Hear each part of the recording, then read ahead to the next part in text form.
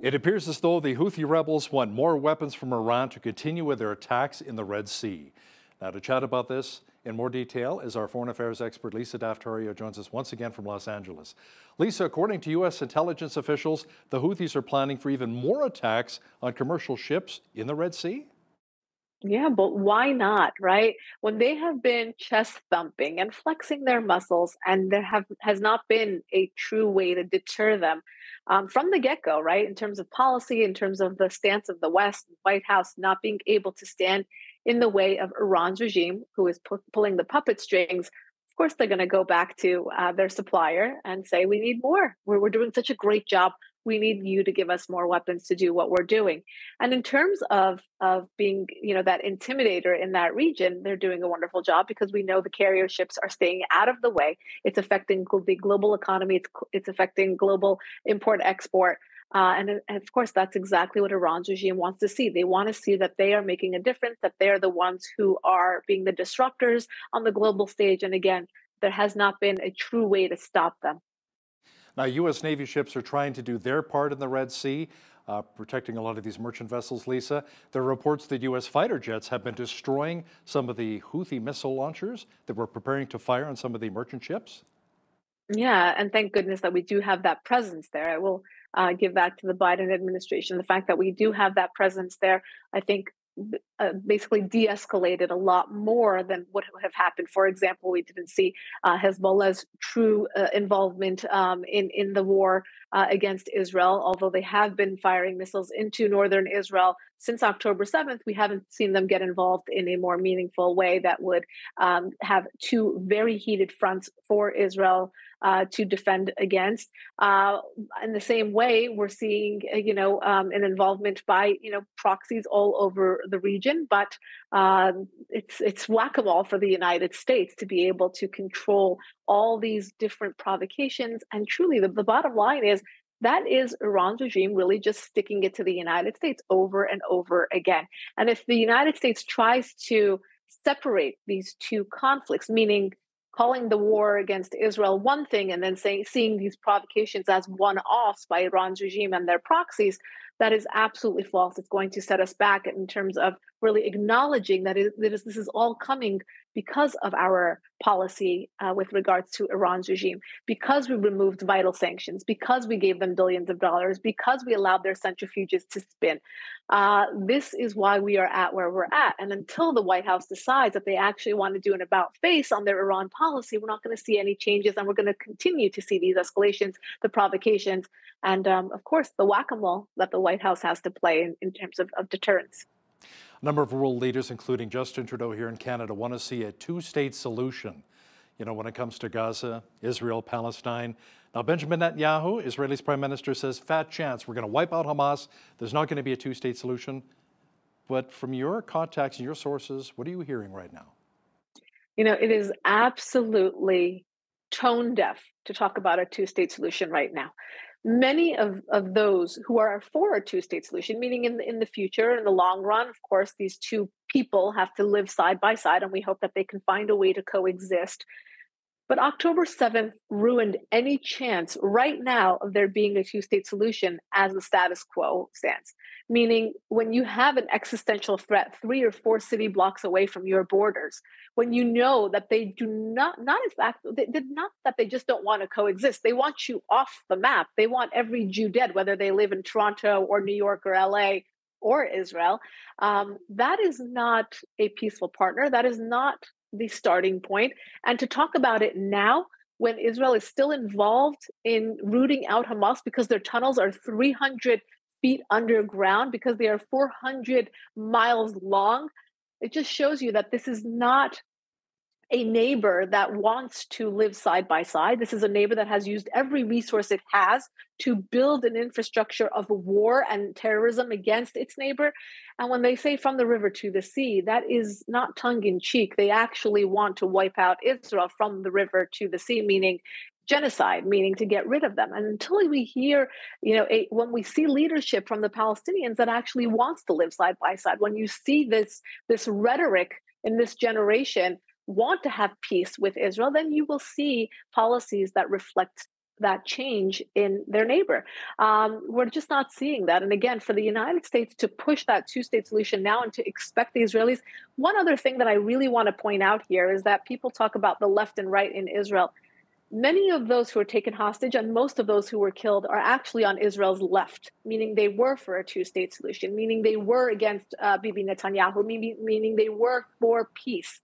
But right now, when you go to Israel, the sentiment is very different. Of course, if when there's an existential threat, when they're raping their daughters and killing their children and taking them hostage and truly brutalizing them in the most inhumane way we've ever seen, well, it, it's again the wrong time to talk about the two state solution and the wrong time to talk about living side by side. Where are we at when it comes to the release of more hostages, Lisa? Last report, there were still over 100 that were being held by the terrorist group Hamas. Right, and it's it, again um, still being held 107 days. I think we're into the war right now. Um, you know, again, it's it's crazy to think the world is calling for either two-state solution, ceasefire, ceasefire, ceasefire, but we don't hear much about calling for the release of those hostages, innocent civilians who really have nothing to do with this discussion of two state solution or peace or coexistence or living side by side. Those are citizens, a lot of women and children among them. We don't even know if they're alive or what condition they're in. Um, I, I, have interviewed the family of one of those, the, the eldest um, of the hostages, who is 85 years old, who has been without his medication um, and is still being held. So I mean, what does this have to do with peace or policy or land when you're holding innocent civilians? And that is really what the UN, the United States, Canada, anyone who's involved in this conversation should be pushing for right now is a release of those civilians first and foremost, and then we can have a conversation about whatever else. Here's another scary story. The director of the World Health Organization is calling on countries to prepare for another pandemic, Lisa, or disease X, which is a placeholder for an unknown pathogen that could cause a global emergency. Let's talk a bit about that. Yeah, pretty depressing, right, Hal? Because we know as we climbed out of our pandemic, uh, we realized what the world the World Health Organization, the CDC, were not being forthright about a lot of the the intel, a lot of where this originated, um, if the masks actually worked, if the vaccines actually work, what the side effects of the vaccines were, and anyone who questioned this, I'm not saying negated it, but questioned this was silenced. And now they're asking the world to sign on to a treaty for X, meaning just a placeholder just a placeholder. What do we know about X? I mean, what do they know about X is really the question that we should be asking here. And um, side by side, this this week, the Foreign Desk reported on a new strain, of a new virus that has been tested on mice in China that absolutely kills. It has a 100% fatality rate why are what's going on here? What is how did this begin? Where did this virus come from? Why are they testing it? Are the us is the us funding these labs that are testing it? And again what what we should question the timing of all of this. Testing being done in china with 100% fatality rate side by side the, the who uh, preparing for a virus that is just called x a placeholder virus. And they want the rest of us to just stand by and sign on to another pandemic that will shut down the world. Here's an idea. How about we shut down the labs? That'd probably be a better start. Great. I, am with you, Hal. I'll sign on to that. Lisa, six nuns have been kidnapped in Haiti as the island nation continues to suffer from uncontrollable gang violence right now. The Catholic bishop of Port-au-Prince said the nuns were taken from the diocese on Friday while traveling on a bus while traveling on a bus. So much gang violence there. Uh, we know the U.S. has has um, issued uh, travel warnings, has pulled a lot of its vital uh, staff there as well because of the gang violence. Has not been able to control it. Um, we know uh, many world powers have decided to send help over there to try to control that gang violence, and now we see the victims of all of this six innocent nuns that were traveling on a bus uh, and we pray for their their their quick release. Uh, I don't know what the gangs would want from six nuns, other than to send a clear message that they are in power and they will wreak havoc on the most innocent elements of society, and in this case, these nuns. A group of Jewish students in Washington, D.C. have filed a federal civil rights lawsuit against American University for not doing very much after the school was vandalized with swastikas and pro Nazi propaganda. Yes, it le- looks like this is the new way forward. A lot of uh, groups, committees, and individuals taking matters into their own hands to bring lawsuits against universities that are not protecting Jewish students. Now, uh, Jews are not protected under the DEI, um, the uh, discrimination um, uh, kind of uh, umbrella because they're not a protected class. They're actually seen as um, the instigators or you know the it, it's crazy that we are punishing victims here. Um, in the united states the jews make up 2.4% of the population but they make up more than 60% of hate crimes right now and that number is probably much more heightened um, on on college campuses where students are going to faculty and administration and reporting these cases but are being turned away or ignored or you know the, these files are, are falling on the wayside where in disproportionately when other groups are going and complaining about them something is done. And we all saw this with the uh, suits that were brought or the i should say the testimonies um, of the uh, ivy leagues upenn harvard et cetera where certain individuals were re- removed from campus because they were not able to acknowledge the problem of anti-semitism but has the problem been fixed? Has the system been fixed where uh, th- there is no acknowledgement of hate crimes against Jews and anti Semitism? So perhaps uh, the pulling of funding by Jewish donors, perhaps the students protesting uh, in ways that they can bring litigation, because we know that um, you know the, the, other students happen to be louder on campus. These pro-Hamas uh, protests continue on every single day. Uh, Jewish students are hiding in libraries and in dormitories because of uh, this pressure, this uh, violence, etc. So hopefully these cases will shine a light on the um, the prevalence and um, will fix the, the issues across the board. Convicted killers in Washington state may soon be able to vote. Now, there's a bill before the House by Democrat Tara Simmons who wants to restore the rights of felons. You know, we're coming up on an election, House, so we're going to see a lot of interesting, um, both formal and informal ways to skew our um, voting process. And here is a way to allow felons um, to participate, to be involved.